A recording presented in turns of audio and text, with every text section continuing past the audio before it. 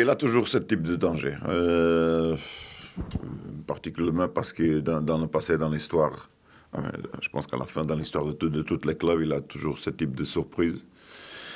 Mais pour nous, cette, euh, pour le cas de l'OM, cette surprise négative était seulement l'année dernière, précisément à janvier, contre Andrezio. Euh, et je pense qu'on peut utiliser ça dans l'aspect de la motivation. Évidemment, un, match de coupe, tout se peut passer. Commencer bien, profiter de notre occasion, c'est toujours important.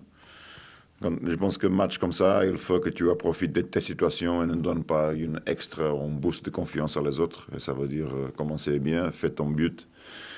Euh, porter un peu de calme au jeu. C'est vrai que les Trélisac ont un, type de jeu agressif, direct, objectif. C'est normal, de transition.